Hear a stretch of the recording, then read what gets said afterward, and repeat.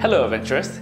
This is the most depressing tour in South Korea that I recommend you should go.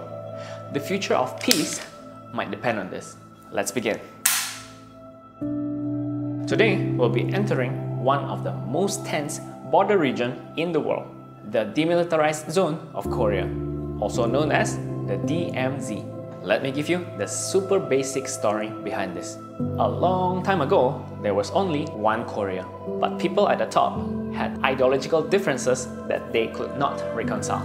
This led up to a civil war that continued as a proxy war between superpowers in the world. Thankfully, the war ended in a truce, with the DMZ being the border between the now separated North and South Korea. At the Peace Monument is our first very depressing monument, the Mangbaedan. You know, on public holidays, usually you'll hang out with your family, except if your family is separated because of the war. In that case, you'll visit a Mangbaedan and hope that you'll catch a glimpse of your family in the north side. Just beside it is a monument to remember a very heartwarming story of when a Korean radio station ran a program that helped to reunite 10,000 families who were separated from the war. Nowadays, if you want to know where your family members are, you just check Instagram. Oh, they are in here, they're in there. Or you can just give them a call. Yo, where are you at? But back then, they didn't have these options.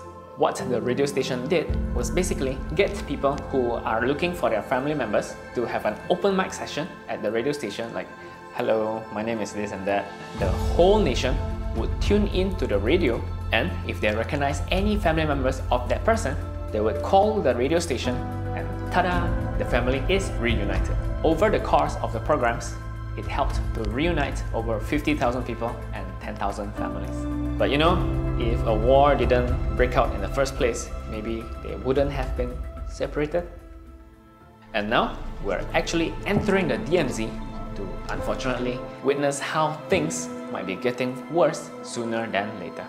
Ever since the truce was signed, North Korea hasn't stopped trying to find an edge against the South Koreans. For example, the North have been secretly digging infiltration tunnels to sneakily gain access to the South.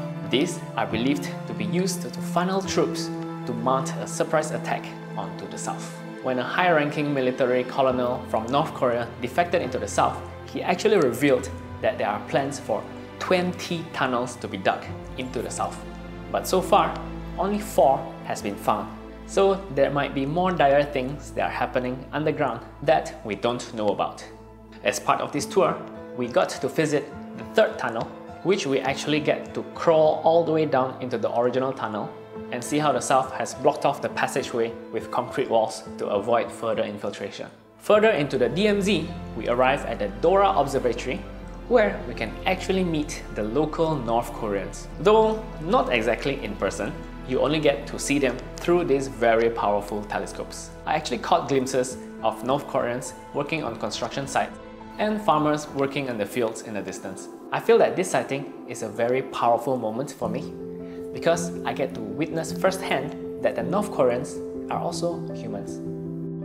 You know, sometimes when we are nasty to each other, it's very easy to be blinded by the rage, by the anger, and see the other person as less than a human. But actually, regardless of the political powers at play, we are all humans. Although this tour is depressing, I feel like it's a necessary reminder that war is terrible and that we can work together to prevent it. Hopefully, we can look past our past and build towards the future. You know what else is crucial for peace? Food! Like this one. I'll see you there. Hello adventurers! In this video, I will show you how to infiltrate North Korea.